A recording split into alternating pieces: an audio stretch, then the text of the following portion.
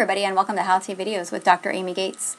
This video is going to focus on the definitions for populations and samples and a few examples. This is part of a massively open online textbook and video format for the Introduction to Statistics.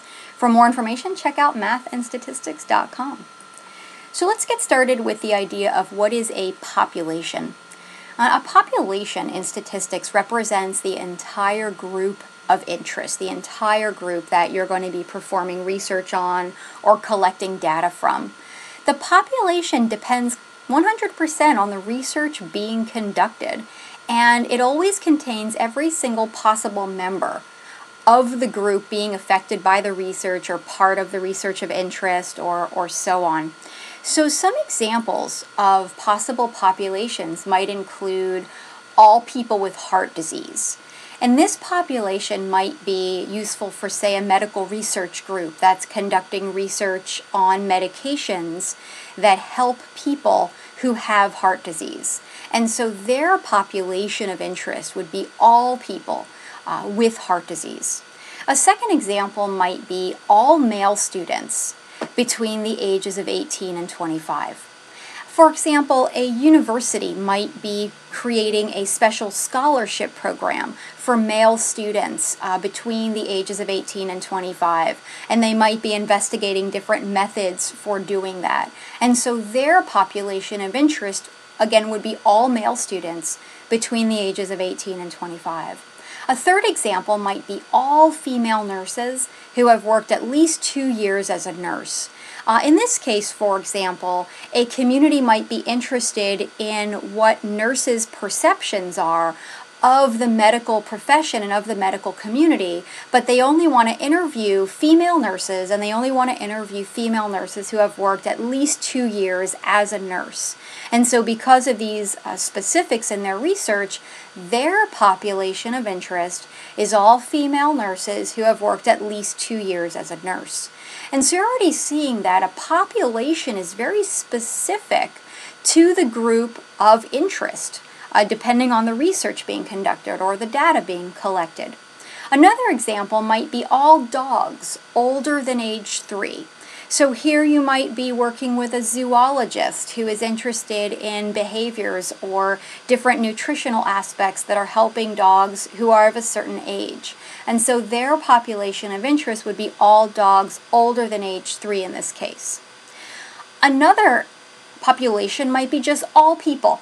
So there's a lot of research out there that affects every single one of us. And in that case, the population is in fact just all people in the entire world. And this might be larger things such as how smoking affects our health, how diet affects our health, and so on. Another example might be all rabbits. Again, you might be working with a zoologist who is interested in different uh, feeds that help rabbits to live a longer and uh, more comfortable life. And so that person's population of interest in their research is all rabbits. Finally, another example all female adults. So there's a lot of research out there uh, that deals with, for example, breast cancer, ovarian cancer, and things of this nature. The population of interest for that type of research is all female adults.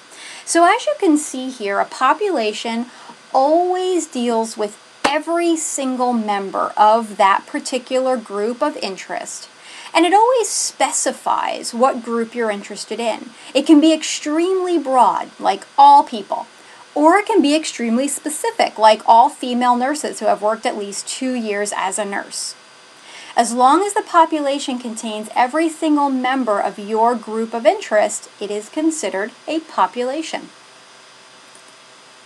Now, a sample, on the other hand, is a collection gathered from a given population. A sample is always smaller, often very much smaller, than the actual population that it's collected from. Samples are generally collected from populations so that research can be performed on that population, but without having to do research on every single member of the population. You can imagine that if your research, for example, affected all humans, that's over 7 billion people at the time of this, uh, this recording. So there's really no way to do research on 7 billion people. But there is a way to take a sample of people, do your research on that sample, and then make an inference about the results from that research and how they might affect the population. The word statistic is often associated with the word sample, and you'll often see the word parameter associated with the word population. So when you have a population of interest, such as, let's say, all female adults, a population parameter might be the mean height of all female adults. That's a parameter. A parameter always describes the entire population. So the mean height for the entire population would actually be very difficult to discover because we're not going to run out there and physically measure every single female adult in the entire world. But we can estimate that population parameter by collecting a sample and calculating a sample statistic. So the word statistic always describes a measure gathered from a sample, such as a sample mean or a sample variance. Sample statistics are very often used to estimate population parameters. Now let's look at some examples of starting with a population and then coming up with a sample that could be collected from that population. So an example population might be all people with heart disease. A possible sample that could be collected from that population might be a group of 45 people who have heart disease. This is just one possible sample that could be taken from this population. Notice that this sample has a sample size. Its sample size is 45 in this case. And of course, it's only people with heart disease because that, those are the people who are in our population of interest. The sample always comes from, directly from, the population. In the second example, the population is all male students between the ages of 18 and 25. So in an example, we can grab a sample from that population of 10 male students in that age group. This is a small sample size. 10 is not considered a very large sample, and so given that small sample, the research we do just on this sample is not as accurate in estimating what it would be for the true population as it would be if we had a pretty huge sample size, like in the third example. So in this case, the population is all female nurses who have worked at least two years as a nurse. A possible sample from this population might be a group of 120,000 nurses who have worked at least two years as a nurse. And then our final example, our population might be all dogs older than age three. A possible sample from that population might be a group of 17 dogs older than age 3.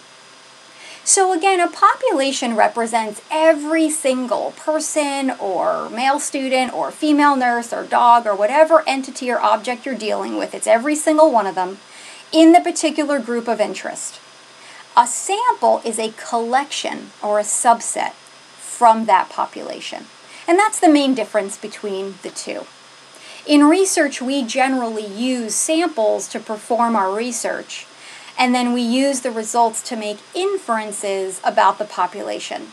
And the reason for that is most of the time, populations are enormous, and there would be no feasible way to do research, collect data, or perform analysis on the entire population.